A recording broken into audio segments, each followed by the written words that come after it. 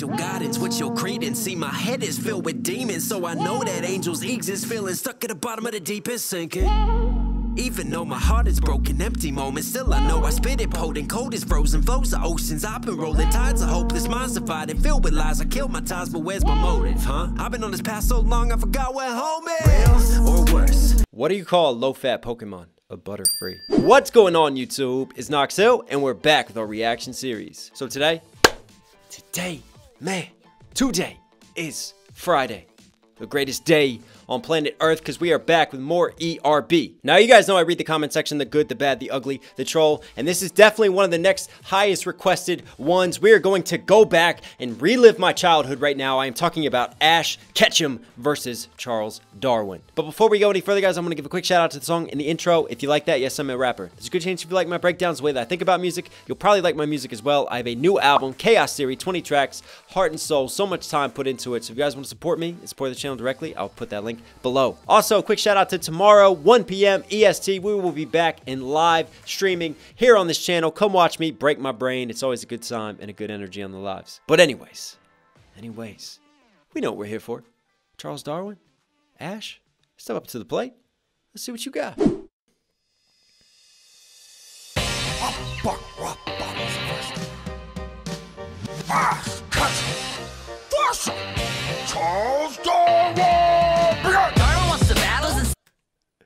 I'm not even looking at what's going on on the screen because my childhood is just flashing before my eyes at this exact moment in time. I want to be the very best, like no one ever was. If you guys don't know what I'm talking about, it's okay. The nostalgia is real right now. I love how they took, you know, the theme song from the TV show, sampled from that. You have the electric rock guitars, just the whole vibe to it, the build up. Yes. Yes. Let's go. Uh huh. This is dope. Charles.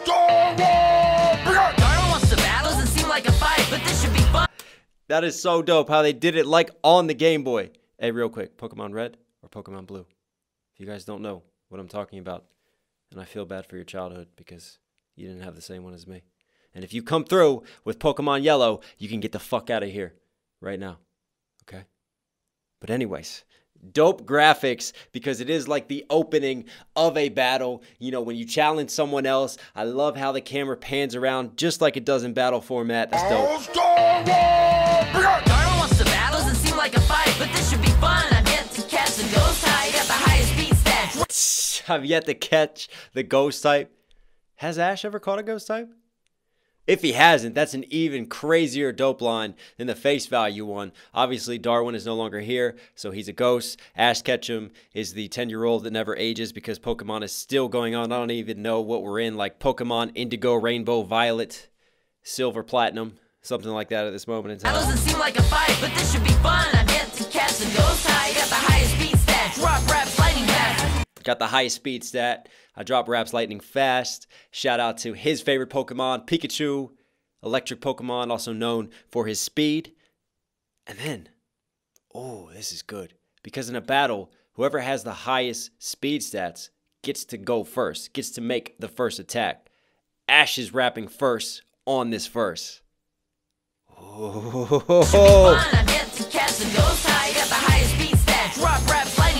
And that's dope. When he's getting ready to throw his Pokeball, he always switches his hat from forwards to backwards. I used to do that as a kid before I would go out into the world. but this should be fun. I'm yet to catch the ghost high at the highest speed stat. Drop raps, lightning Nice. fast. Open my pockets and go on your ass, cause I'm Open my pockets. Hang on, hang the on. highest speed stat. Drop raps, There's a lot that happened. Open my pockets and go. Open my pockets and go. Charizard. I love how they zoom in on his eye because just like the animation, when they zoom in on Ash, and then you have like the. I mean.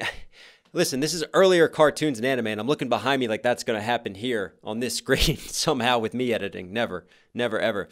But, you know, when you didn't have like CGI back then and you had to make like a motion blur happen, you would just put like the lines, you know what I mean? Like painted lines going up and down. Again, nobody can see this, and I am crazy right now, but I'm so happy that we're doing Pokemon today. This is real life.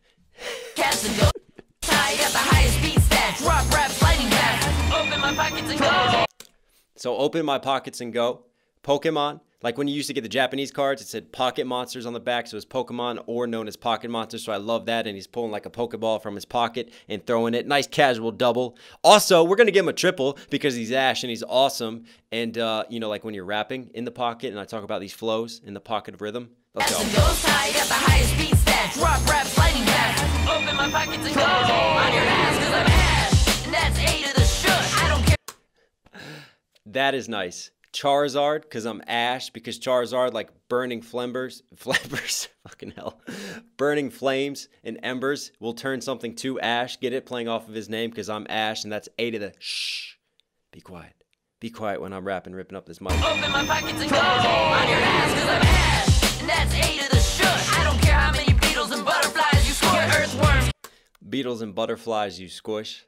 Because Charz- Charizard, wow, my brain is already mush, and we're not even into this battle yet. Because Darwin, uh, he collected bugs, didn't he? I mean, he would study beetles, and he even studied like earthworms. He wrote a whole thesis on earthworms.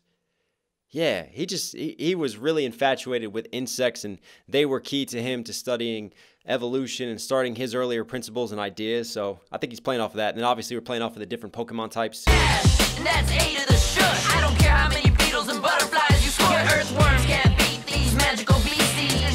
Yeah, yeah. Oh, there it is. Your earthworms can't beat these magical beasties because if you want to compare all the animals that you get to study versus the ones that I study on my Pokedex and that I collect, well, mine are pretty badass. I mean, mine can shock you, they can burn you, they can drown you. Wow, that's actually incredibly violent. Wait, is one of my favorite children's shows violent? I didn't even think about this. Open my pockets and go on your ass, cause I'm Ash. And that's the shush. I don't care how many beetles and butterflies you score. Earthworms can't feces. I can't rap. shit talking origin of feces so playing off of darwin's origin of species where he laid out his foundation and his theories of evolution but obviously he's playing off of your shit talking like literal shit known as feces origin of feces i like that that's clever magical beasties. And shit talking. his voice is a little bit corny isn't it i get it because he's supposed to be 10 he's supposed to be like kind of you know the cornier catchier childhood show but Ash kind of has like a raspy voice and a pretty unique sort of tone. Interesting that he didn't choose to like try to mimic Ash's actual tone, like at least in the English dub of everything, versus going for this, which is still, yeah, I guess it works. Hey, we're not gonna throw shade on Ash, not around. How many beetles and butterflies you score? Earthworms can't beat these magical beasties. And shit talking mouth is the origin of feces. You got candy wraps, Reese's Pieces. Candy, you got weak shit that you're rapping with RAP, but also like a candy rapper, W R A P. And then how do you say it? That's the biggest question. You're going to have to comment down below. Is it Reese's Pieces or is it Reese's Pieces? Ooh. See, he bent it to make it rhyme with feces, but I think as a kid, I definitely said Reese's Pieces, which was incredibly incorrect because uh, Reese. It's all about Reese. Reese invented people. All right, get your enunciation right. Mouth is the origin of feces. Got candy wraps, Reese's Pieces. In this ecosystem, I'm the dominant species. When it's time to Nice, because Darwin playing off of different ecosystems and talking about the dominant species when it comes to evolution and it comes to the principles of, you know, survival and survival of the fittest. So here, Ash is saying, listen, man, I'm the dominant rapper. I'm the dominant species. Like, uh,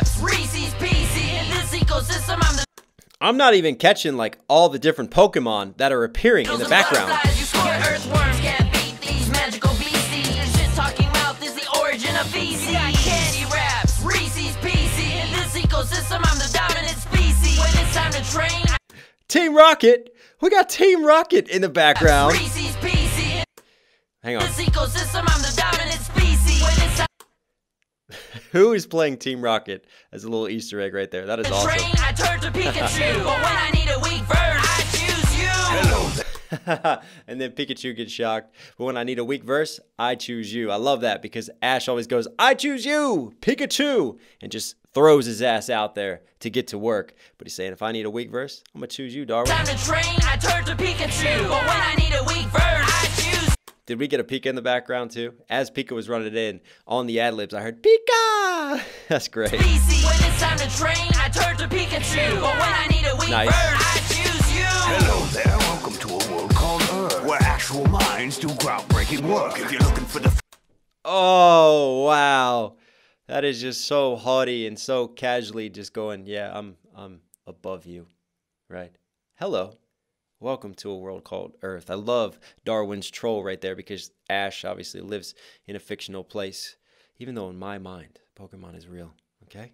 welcome to a world called Earth. Where actual minds do groundbreaking work. where actual minds do groundbreaking work instead of talking about fantasy and these different things like we actually progress mankind progress the study and progress science i like that i like how he comes in with that just so casual with the hello injects his personality into it that's nice Hello there, welcome to a world called Earth. Where actual minds do groundbreaking work. If you're looking for the fittest on the natural selection, you're so in if you're looking for the fittest again survival of the fittest playing off of evolutionary principles natural selection he is the natural selection for this rap it's also doubling for his natural selection when it comes to evolution Actual minds do groundbreaking work. If you're looking for the fittest on the natural selection, you're so ineffective you couldn't even turn a.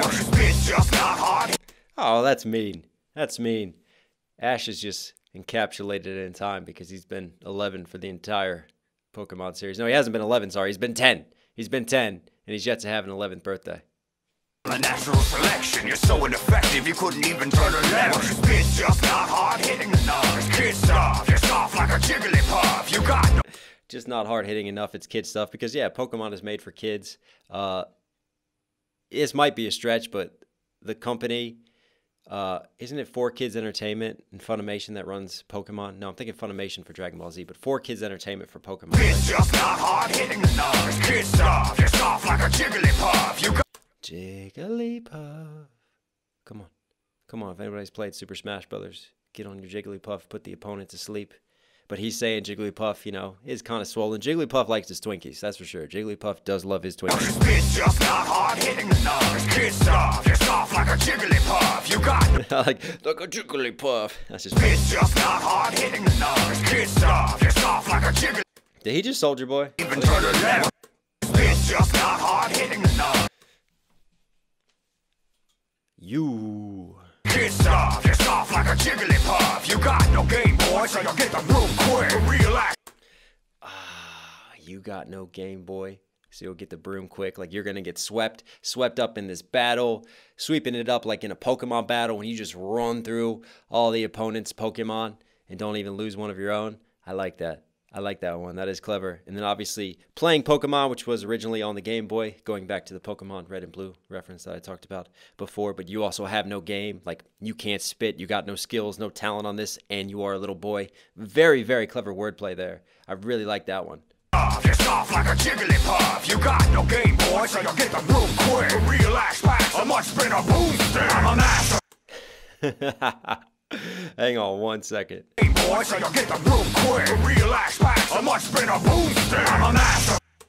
All right. So, talking about Ash Williams, wasn't it? That was Evil Dead. So, Ash from the Evil Dead, who's a pretty badass dude, and he used to call his shotgun the boomstick. But also, listen, in typical ERB fashion, it is not right if we don't have at least one dick joke. So, the dick joke here is, you know, calling it a boomstick. And that Ash has a much bigger boomstick than this Ash. But this Ash is only 10 years old. Uh, maybe we're reading too much into that. Game Boy, so you'll get the room quick. Relax, pass a much a boomstick. I'm a master of a naturalist. What a glimpse without class, all the crap on your laughable. outclass all the crap, masterful naturalist. I love how he bends that internal vowel scheme. That's a nice flow right there. I'm a master of naturalist. What a glimpse without class, all the crap on your laughable list. Will outclass all the crap on your laughable list. Is he talking about like the list of Pokemon? He is not taking shots at the Pokedex right now. If he's taking shots at the Pokedex, we're gonna have some issues. We're gonna have some issues. But he's talking about, you know, all of the thousands of species that he has studied, that he has seen throughout his travels. They just outclass what Pokemon have been invented. And honestly, like the original Pokemon I, I liked, but then as the Pokemon series is going on, it's like they've just run out of ideas and they just grab the most random shit to make Pokemon out of. It's like they look around their house and just see like a box from FedEx and that becomes like Boxymon, you know, ground type. You guys know what I'm saying. I'm a master. I just said ground type Earth. Come on. List.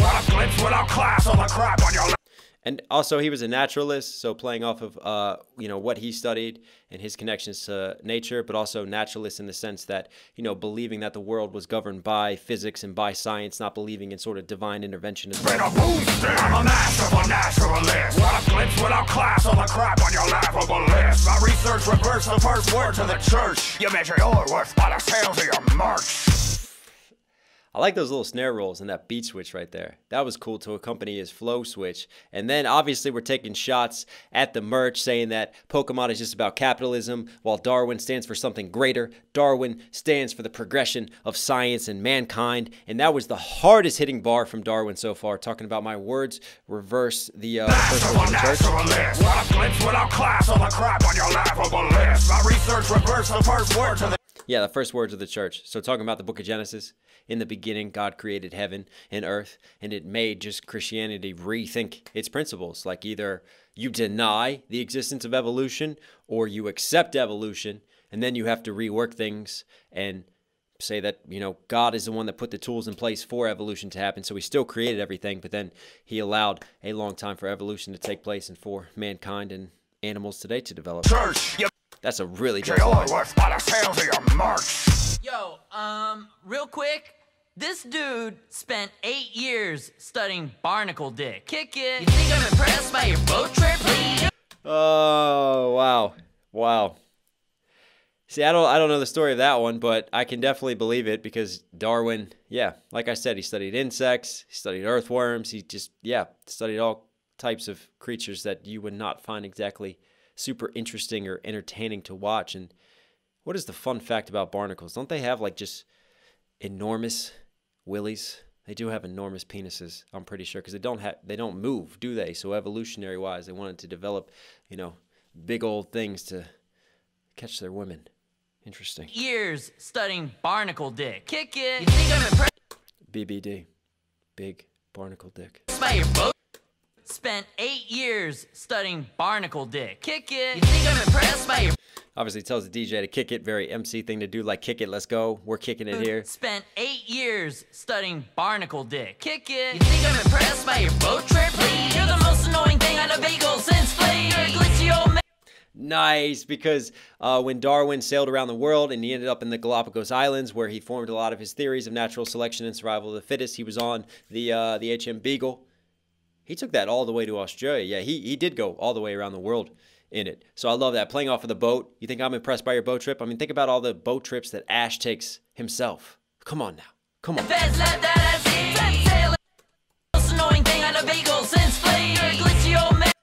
So obviously playing off of the beagle bars, like beagle being a dog as well, like having fleas on a beagle, beagle the ship, and then hang on a second.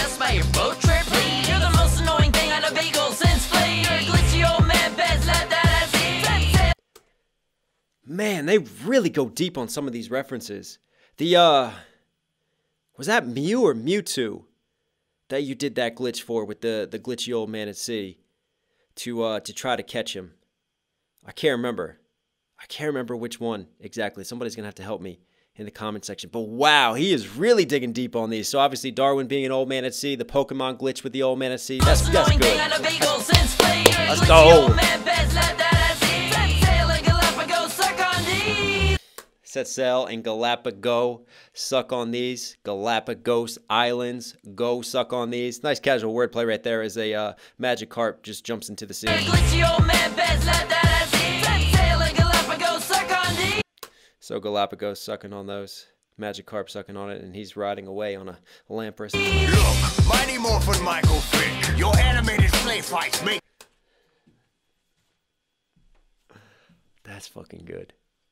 Oh my god, and now we're having just more childhood nostalgia here, shouting out Mighty Morphin Power Rangers. So Mighty Morphin, right, saying like, you know, playing off of the kid show, you're a kid. So he's trolling him yet again. He's got some great opening lines on his verses to troll Ash. Mighty Morphin Michael Vick. Because Michael Vick, we, we, we know Michael Vick, right? Surely, surely. Well, maybe. Maybe not everyone who follows ERB follows football as well. So Michael Vick used to play for the Atlanta Falcons. Then he played for the Philadelphia Eagles. Infamous uh, NFL quarterback that got in trouble and went to jail for fighting and uh, breeding dogs to fight. Yeah. So what he's saying here, what I like, is because Michael Vick, animal cruelty, yes, all kinds of red flags there. Basically, if you think about Pokemon and the whole essence of it, you're capturing and enslaving uh, different Pokemon and forcing them to fight each other, which would actually be animal cruelty and would be illegal uh, in today's world. Wow, that really just crushed all of my childhood dreams and hope. Look, Mighty Morphin Michael Vick. Your animated slave fights make me sick. When I yeah, get an animated slave fight. So playing off of that, the slaves. That's a nice little casual double right there. Also, this might be a little bit of a stretch. No, I don't think so because um, very clever writing from ERB as always. But you know, Michael Vick being black, and then obviously playing off of black in the slaves, and then the slavery of the animals that were the Pokemon. And was it wasn't there a, story that Pokemon, like some of the fights, made kids sick? I might be stretching that one. I might not be. I don't know. Mighty Morphin Michael Vick. Your animated slave fights make me sick. When I battle a foe from so simple a beginning. I'm not Charles Sheen, but I am Dar winning. Wow. So we just got the infamous uh, Charlie Sheen interview when he's drinking tiger blood and he's winning. He is winning. He has won at life. So he plays off of that, playing off of his name, Charles Darwin, and then Sheen, right? Charlie Sheen, Dar winning, Dar win, he's winning. That's clever, man. That's tiger. Tiger blood in my Foe from so simple a beginning. I'm not Charles Sheen, but I am Dar winning. Man, if that's true, then nature is cruel. Cause the only thing you're winning is your cousin's gene pool. You lost three children while they were still small. TB and scarlet fever. Gotta catch 'em all. It took billions of years for mankind. Oh, that might be the biggest low blow and dirtiest of all the lines. The only thing that you're winning, playing off of the Dar winning line, so a clever flip on that, is your cousin's gene pool because Charles Darwin married his first cousin. Yes, he was in an incestuous marriage. And then a lot of them speculate that one of the reasons why he had like 10 kids, didn't he? And a number of them died. And they thought they had weaker immune systems and obviously issues and complications from the incestuous uh, marriage and bringing their children into the world. And some of them died from. Yeah, yeah. Died from TB, tuberculosis, and then uh, scarlet fever as well. I'm going to share a random fun fact with you guys that my great grandmother actually was diagnosed and had tuberculosis at a time when it was pretty much a, you know, just death toll for you if you got diagnosed with that. I mean, you don't really survive that before they had a vaccine for it. So she was in bed for an entire year and didn't move, stayed bedridden for a whole year, did nothing, and somehow beat it and overcame it. Just a random story for you. thing you're winning is your cousin's gene pool. You lost three children while they were still small. TB and scarlet fever. Gotta catch 'em all. It Is he doing like Old Town Road right there? Little little Nas X shout out and dance. But as you say on Pokemon, gotta catch 'em all, gotta catch 'em all. So right here, he's saying, "Hey, you're catching all the diseases right now, isn't it great?" I love that flip. That is so clever, man. That is that might be my favorite. Just couple lines from Ash right there, back to back to back. That was just vicious. Man, if that's true, then nature is cruel. Cause the only thing you're winning is your cousin's gene pool. You lost three children while they were still small. TB and scarlet fever. Gotta catch 'em all. It took billions of years. I mean, that is vicious, like a Bulbasaur going against a Charizard. You know what I'm saying?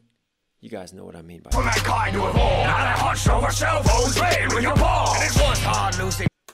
Oh, I love how that comes back around. You know, mankind starting off and then evolving to standing straight up. And then now it's almost shots at modern day and technology because we're all just addicted to social media and hooked on our phones, just looking down. And that also, I take that as like a Pokemon Go shout out and obviously the Pokemon games because you're sitting there, you know, flicking the balls as you're throwing them out, trying to catch Pokemon. So playing with balls, but also Dick Joke playing with Ash's balls. Nice. mankind to evolve. Now they hunched over cell phones playing with your balls. And it That's nice. losing my daughters and their brother. As hard as the wood that oak gave your mother.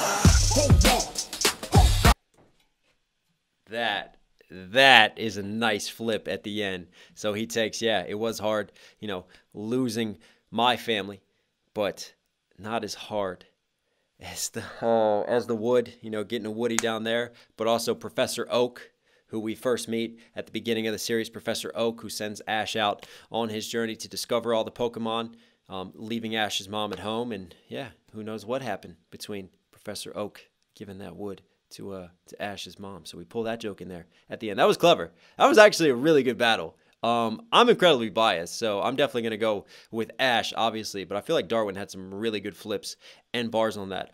Also, uh, I've been forewarned that I cannot play the end of this because apparently it could get copyright stricken, which we don't want to have happen. So I've been advised before going into this that I'm just supposed to leave it right here. So unfortunately, we can't let the end credits play.